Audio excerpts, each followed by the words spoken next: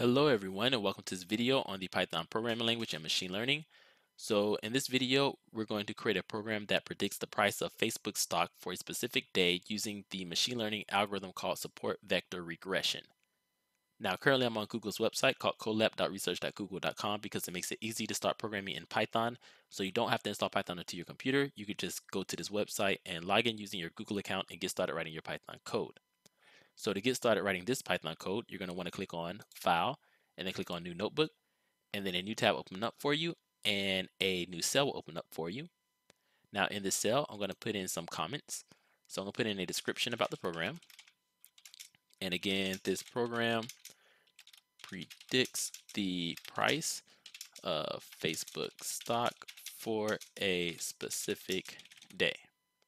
Okay, Next, I'm going to create a new cell by clicking this code button in the top left. And in this cell, I'm going to import the libraries that I plan on using throughout this program. So from sklearn.svm, I'm going to import svr. Next, I'm going to import numpy as np, and I'm going to import pandas as pd. And last but not least, I'm going to import matplotlib.pyplot and I'm going to do it as PLT. And then I'm going to give the plot a style. So just type PLT dot style dot use, and I'm going to use the 538 style. And then I'm going to run this cell by clicking this button here to the left. And if there are no errors, then I won't get any error messages. Okay, so I'm off to a good start. Let's go ahead and create a new cell. And in this cell, I'm going to load the data. All right, so from google.colab, I'm going to import files, and then I'm going to create a variable called uploaded, and I'm going to set it equal to files.upload, and let's go ahead and run this cell, and then we're going to click on choose files, and then I'm going to load that file there. So let's just open it. Okay, now that file's loaded, I'm going to create a new cell, and I'm going to store the data. So well, let's see, I'm to store and let's do store and show the data. Okay, so I'm going to create a variable called df and set it equal to pd dot read underscore csv and I'm going to input the name of the file which is capital F capital B underscore capital S T O C K dot CSV and then I want to show this data so I'm just going to type df and let's go ahead and run this okay and now I can see this data set so it appears to have 22 rows of data and one, two, three, four, five, six, seven columns. So that's the date column, the open price column, high price column, low price column, the close price column, the adjusted close price column, and the volume column. All right. Now, if you don't want to, you know, basically count all the columns and rows, you can just uh, get that count by doing this. So here I'll show you. Get the get the number of rows and columns. So just type df.shape and then run this and then it'll tell you that there's 22 rows in the data set and seven columns. Okay. Now the idea of this program is to basically train these these machine learning models on basically all the data from index 20 to index 0 and we're going to train it on the adjusted close price and then I'm going to give the models a day. So it'll be this last day here, day 31, and it's going to try and predict the value of the stock for that day. All right. Okay. So let's see. Let's print and get the last row of data. So I'm going to create a new cell here. And I'm going to get and print the last row of data because I don't want the models to train on that data. And I want to verify that the model got it correct later on. So let's go ahead and do that. I'm going to create a variable called actual underscore price. And I'm going to set it equal to df dot tail. And then we're going to input the number one. And then I want to print actual or show actual price. All right, so let's go ahead and run this. And now we can see that I've stored that last row of data into actual price. All right, so let's go ahead and create a new cell. And in this cell, I want to prepare the data for training the SVR models. Okay, and I put models here because I'm going to have three models. So let's go ahead and get started with that. So the first thing that I want to do is I want to get all of the data in the data set except for the last row. So just type df and set it equal to df dot dot head. And I'm going to get all of the data minus that last row so minus one. All right and then I want to print the print the new data set. So I'm just going to type print and then put df here and let's run this. Okay so now we can see that this new data set has 21 rows as opposed to 22 rows like before and seven columns and that last column is indeed gone which was at index 21 okay? So that's good. Let's go ahead and create a new cell. And now let me think uh, now I think I want to create empty lists to store the independent and dependent data so let me go ahead and put that here create empty lists to store the the independent, independent, and dependent data. So I'm going to create some variables. One I'll call days, and I'm going to set it equal to an empty list, and the other will be adjusted close underscore prices. I'm going to set that equal to an empty list as well. All right, and I'm going to go ahead and run this. Perfect. Let's create a new cell. And now in this cell, I want to get the the date and the adjusted close price. And I really should say close prices and dates, right, from the data set. So that means I'm going to need the data from the date column and I'm going to need data from the adjusted close price column. All right, so let's go ahead and create some variables. I'm going to put df or create df underscore days and set it equal to df dot loc and I want all of the rows from the date column. And then I'm to create another variable. I'm to call it df underscore adjusted underscore close. And I'm going to set it equal to df dot loc and I want all the rows from the adjusted close price column so let's go ahead and run this all right let's create a new cell and now in this cell um, first I'm going to create the independent independent data set. So for day in df underscore days, I'm going to append to the days list. So I'm going to type days dot append, and I want to append the day, right? Now, the problem is that I have the date and I don't have the actual day. So I need to split that date column. So just type date dot split, and we're going to split on the slash, and then I want the day, which is at index one. And then I'm going to cast this to an int. Okay. And the the models are expecting an array here, so I need to convert this to an array. So just put these square brackets here and here, and that should be good. All right, next I'm going to create the dependent data set. And if I look up here, it looks like I misspelled the or the. So let me just correct that there. All right. So now going back to creating the dependent data set, we're going to need a loop. So for adjusted underscore close underscore price in df underscore adjusted underscore close, I want to append to that adjusted underscore close prices list so I need to put dot append and I'm going to append the price. So that's the adjusted, the adjusted close price. And I am going to cast this to a float. Okay, so that should be it. Let's go ahead and run this. All right, no errors. Let's create a new cell. And now in this cell, I want to print the days and the adjusted close prices.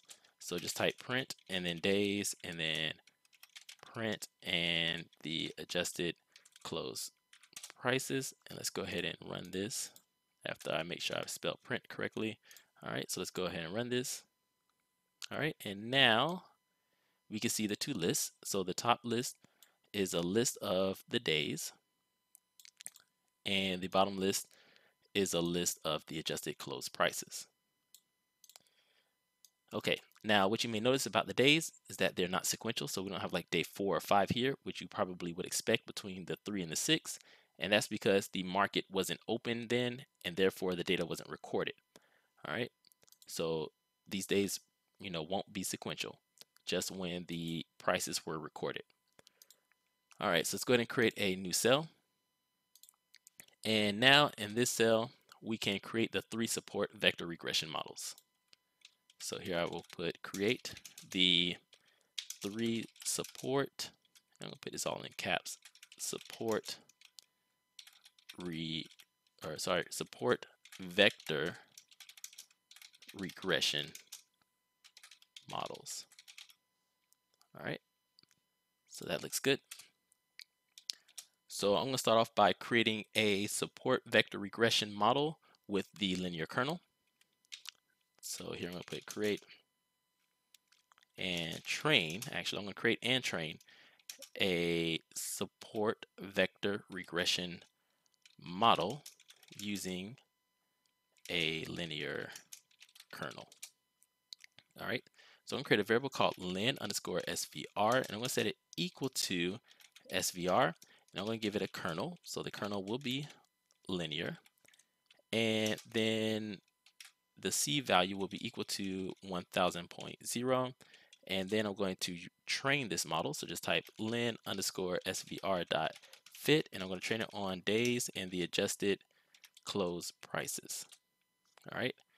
Now the other two models will be very similar. So I'm just going to highlight this, copy it using Control C, and then paste it twice.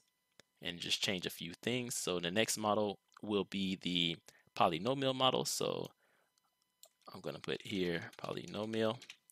And really it's an SVR model with a polynomial kernel. So let's see here. I'm going to change this name here from Lin to poly. And the kernel will be poly. And it also needs a degree. So I'm going to set the degree equal to 2.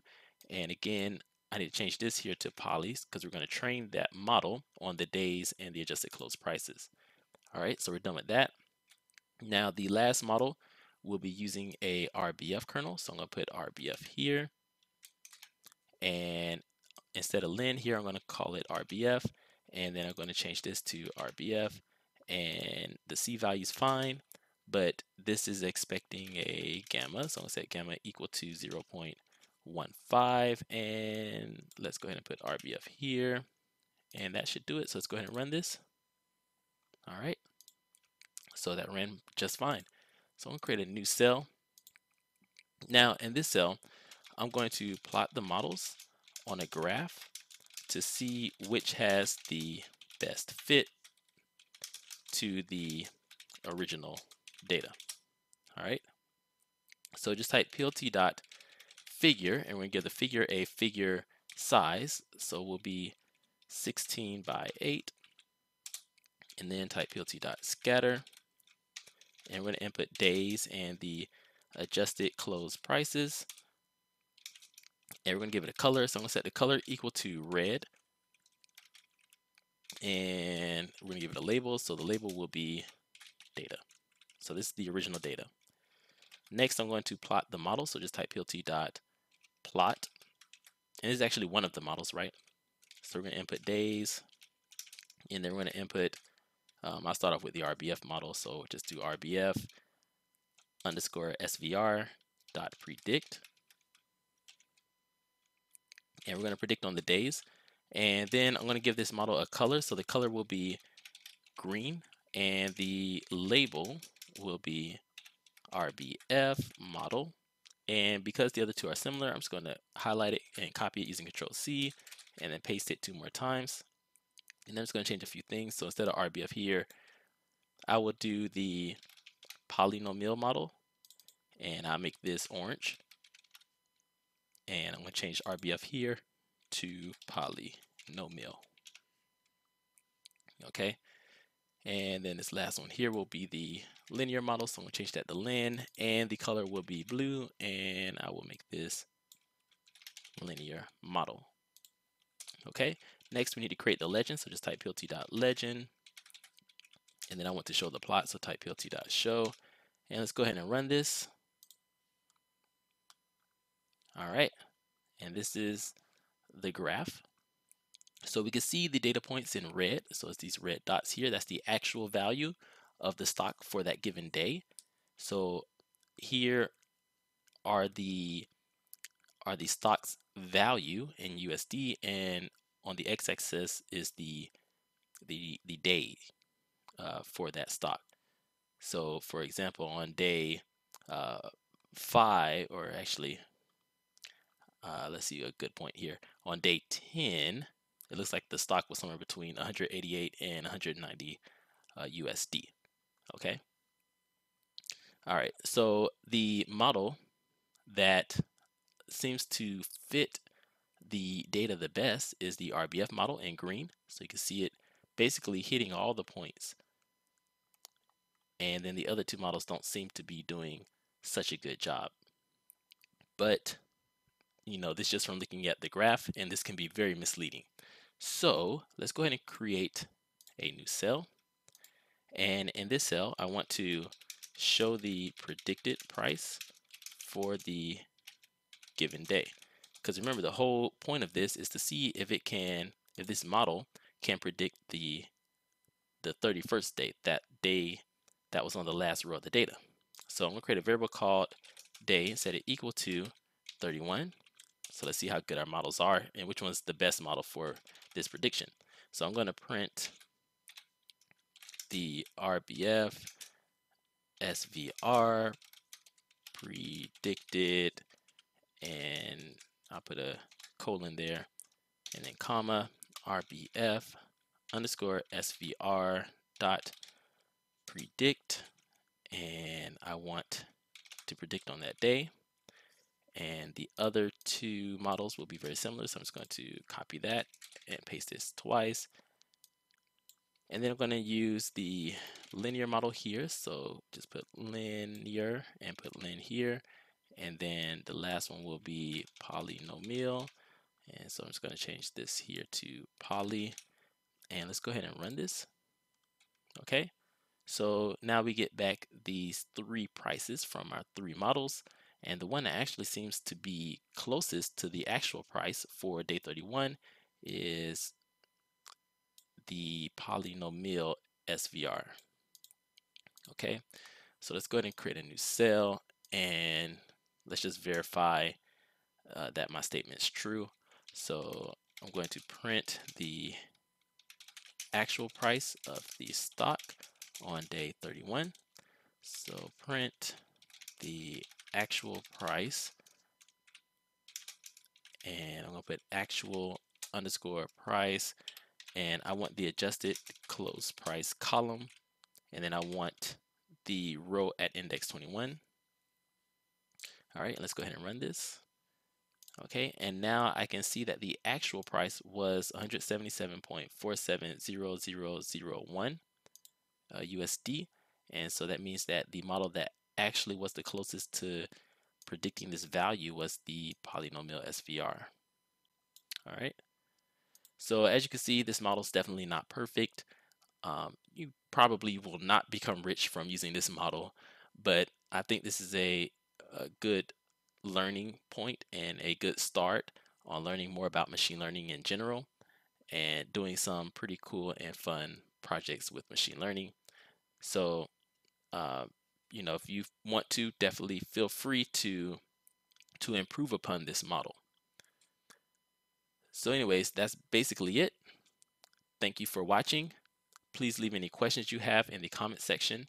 Don't forget to hit that subscribe button and that like button. And if you enjoyed the video, please share it. And as always, thank you for watching and I'll see you all in the next video.